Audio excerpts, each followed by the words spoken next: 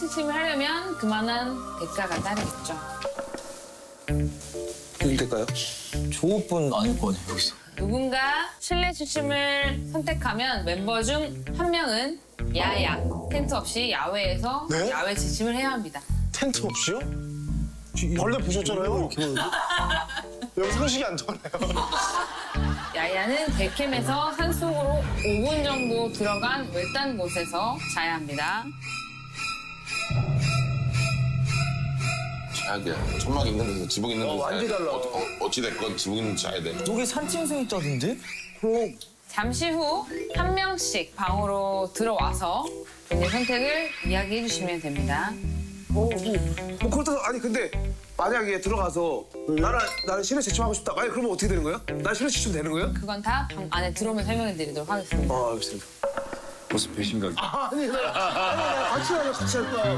대화 좀 하다가 참 되잖아. 사실 배신은 이쪽이잖아. 배신은 이쪽이잖아. 좀 째고. 아니 다 같이 멘트 째고. 동맹이 내일을 다 쏟았어. 야. 배신자가 이거 양쪽에 있네.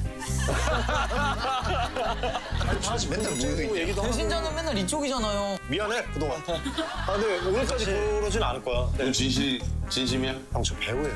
어? 배우는 거 거짓말을 해주셨네. 내가 연기라는 뜻이 어쨌든 아, 진심이라는 거 진심. 아, 그래요? 한 번씩 호명하면 들어와서 아, 오래 걸리잖아요. 우리 다 정리 됐고. 우리 우리끼리 이렇게 불멍 때리고 그래. 다 같이 야외 가자.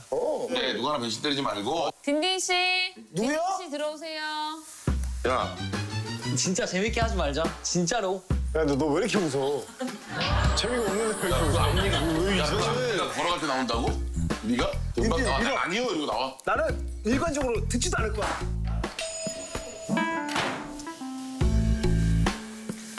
아 나 실례야. 나는 원래.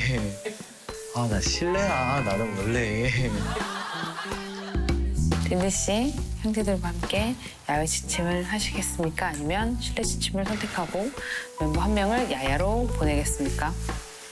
보시다시피 앞에 놓인 뽑기를 통해 야야 멤버가 결정됩니다. 게임은 모든 멤버가 선택을 마친 후에 함께 열어볼 예정이니까 그 전까지는 열어보면 안 되고요. 잘 숨겨주시면 됩니다. 근데 나 궁금했어. 내가 내가 실내 지침한다 그랬어. 근데 내가 뽑았잖아요. 다른 사람이 와서 뽑았는데 내가 나올 수도 있는 거야. 그럼 난 실내 지침한다 그러고 야외로 빠지는 거야? 그럴 수도 있죠. 그럼 나는 실내하기로 했다가 야외로 빠지는 거야? 그럴, 그럴 수도 있는 거지. 오늘 너무 따뜻했잖아.